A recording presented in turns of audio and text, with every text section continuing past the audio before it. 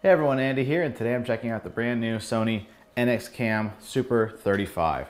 This is the FS100 is the code name of the camera, and it is a Super 35 millimeter size sensor compact cine camera. As you can see, it's a very small bodied camera, and uh, very amazingly, it has the exact sensor that the F3 does. Now we've been testing the Sony PMW F3 a lot on our blog, and it it very, very sensitive. It is a very low noise, and it just does amazingly well overall and it's great to see that they actually have that same sensor in this camera. Now it has reduced functionality compared to an F3 but it still has so many great features. So I'll go over the features a little bit, tell you a little bit about this camera.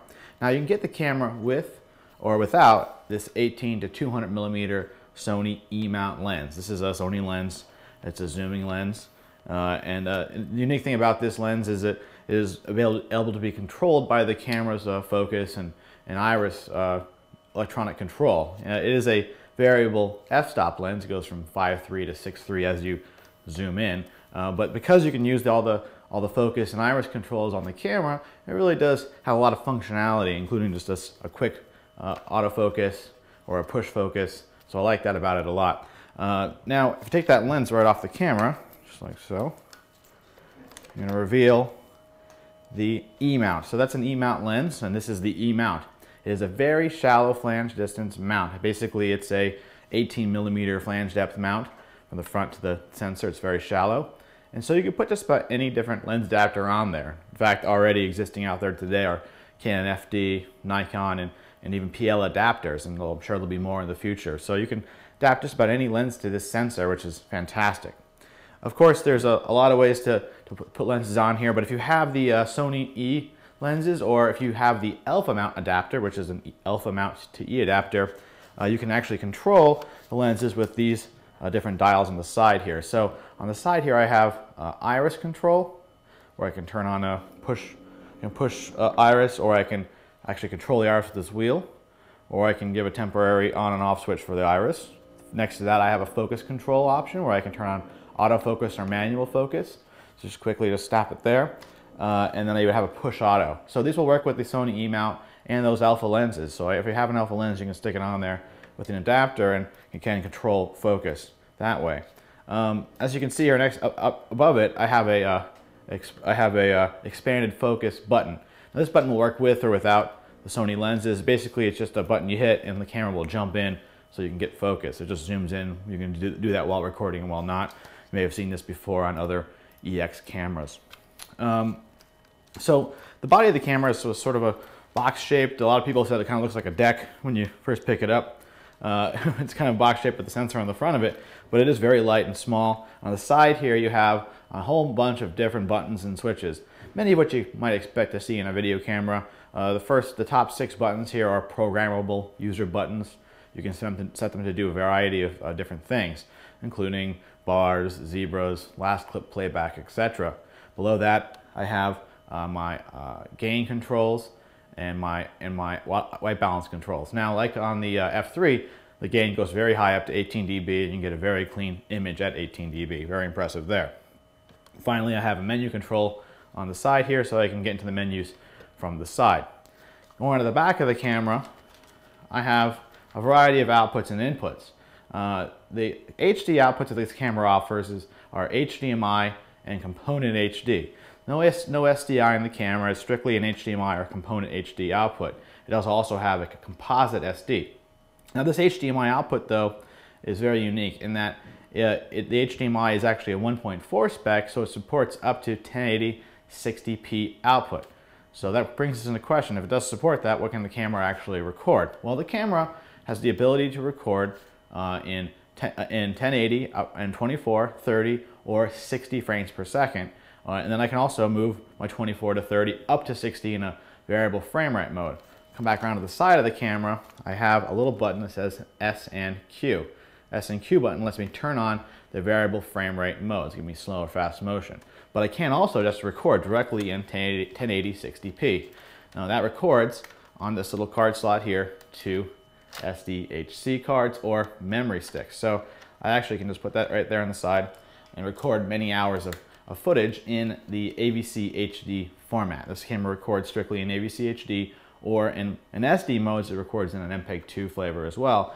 But the HD modes are AVCHD, uh, 24 megabits is the highest quality for 24, and actually you can get up to 28 megabits when you record 1080 60p. So I can record in 60p in the camera, and I can also output 60p out HDMI.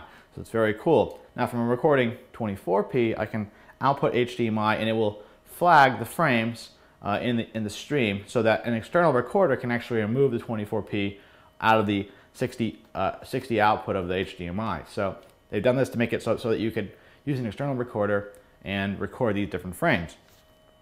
Um, so they've also packed into the HDMI a timecode stream. This is very unique. They've hidden timecode in there so that again, external recorders can pull timecode as well as the 24p out of there. So the idea here is that this HDMI output, we can go to a recorder if you want it to, and you get a really high quality output to a different recorder stream. Now those recorders will be out around NAB time, and so we should see a lot of changes in that world.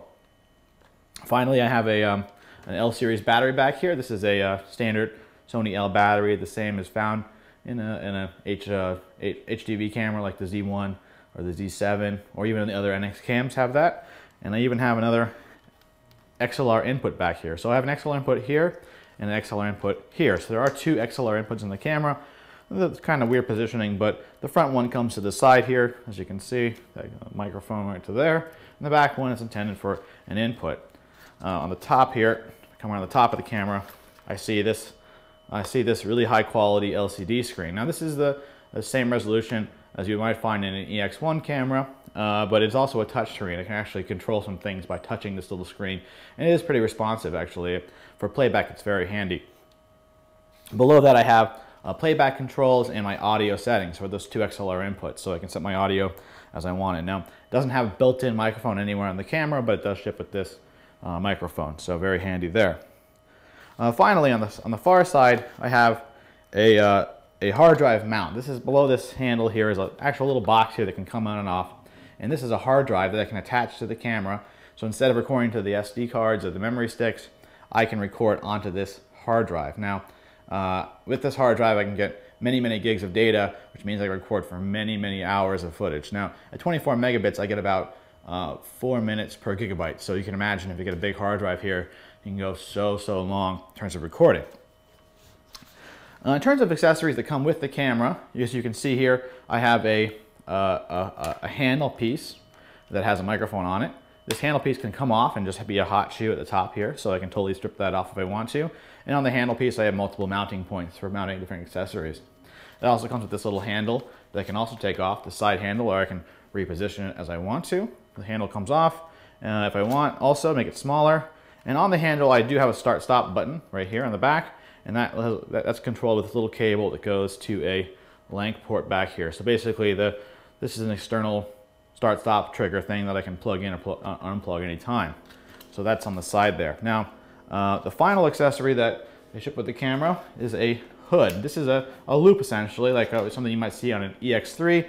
It'll attach to the camera and actually can flip up if I want to out of the way and I can uh, use it to get uh, daytime viewing or just close-up viewing of that nice screen. So it's all together, and the idea is sort of you hold it together, and it's sort of like holding a Hasselblad uh, type uh, still camera, and you look down at your, you shoot sort of against your chest, and it actually is pretty comfortable with the, with the lighter lens that way against your chest. So pretty impressed with actually the ergonomics in that way, even though it is sort of a, a boxy camera in some ways.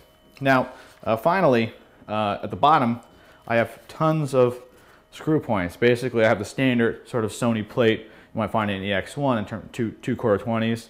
But then I have a bunch more 3 8 16 screw holes there, even offset ones. So I can attach this to just about anything. And even more holes up top here uh, for attaching accessories along here, along there. Basically, they, they made it so you can mount just about anything to this camera. It's small and it's light, so it'll work in many situations. Well, that's it for now. Uh, this is a very exciting camera. It's amazing to see they brought that sensor into this camera and made it such a functional camera overall. The menus are very, uh, very deep. They have a lot of controls, picture profiles, gam various gamma modes, etc. So it's not weak in that way either. Um, so really excited to see that they've done that. Uh, thanks for watching, and we'll see you next time.